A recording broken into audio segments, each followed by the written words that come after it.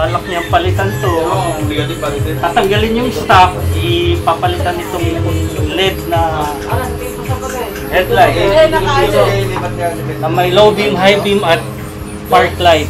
Ah, number one, kailangan may fuse tayong ilalagay. Lalo pag mag mag didirekta tayo dito sa battery, kailangan may fuse box tayong ilalagay. Number one, ano yun? Number one, safety factor.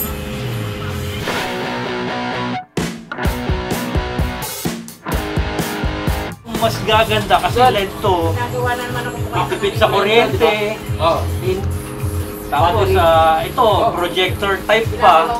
Mas maganda ang bato, mas malayo. Tanga lang. Yung spring, yung kakapit dito sa gilid. Para saan yan? Yung mag-ano, iipit nitong headlight.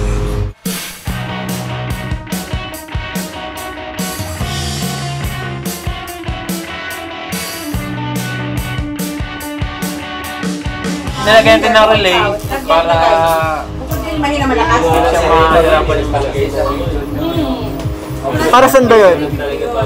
Para sa ilaw natin. Mataas kasi yung watts namin nilagay natin. So, ibig sabihin, safer na yung, safer para, siya ngayon. Para safe yung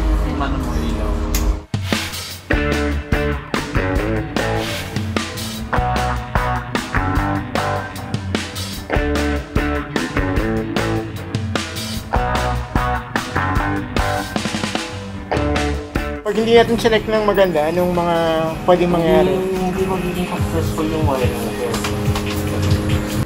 Ayan, tapos yung arrangement ng wire, kailangan hindi hindi kalat-kalat, naka-cable tie, maganda pagka-tape.